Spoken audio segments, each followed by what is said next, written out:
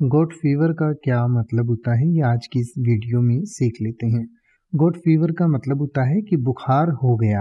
यानी कि जैसे आप ये कहें कि कल मुझे बुखार हो गया और मुझे घर पर रहना पड़ा तो आप कहेंगे yesterday I got fever and had to stay home yesterday I got fever and had to stay home या अगर आप ये कहना चाहें कि ठंडी बारिश में बिना छाते के, दिन बिताने के बाद उसे बुखार हो गया तो आप कहेंगे she got fever after spending the day in the cold rain without an umbrella she got fever after spending the day in the cold rain without an umbrella अब आप ऐसे ही किसी भी वर्ड का मतलब हिंदी और इंग्लिश में यूट्यूब पर सर्च कर सकते हैं। आपको मेरी वीडियो मिल जाएगी, जिसमें आप बिना किसी फालतू बकवास के सीधा उस वर्ड का मतलब समझ पाएँगे। तो ऐसी ही वीडियोस को देखते रहने के लिए चैनल को सब्सक्राइब करें और बेल आइकन को प्रेस करें।